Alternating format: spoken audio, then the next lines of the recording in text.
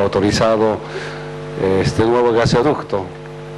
Autorizado entonces, este, lo escuchó ya el presidente Morales.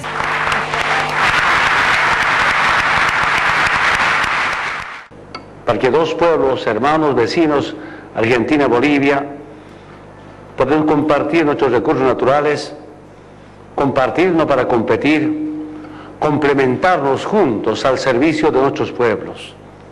Bolivia puede convertirse en el centro de Sudamérica con este recurso natural. Compañera, una tarea cumplida, una misión cumplida con la construcción de este gasoducto de integración con Azurduy. Dando cumplimiento a la adenda que a ese acuerdo firmamos en el año 2010, por el cual comenzamos la construcción de este gasoducto de 48 kilómetros de extensión. Por eso hoy estamos muy contentos, Evo, de estar compartiendo contigo.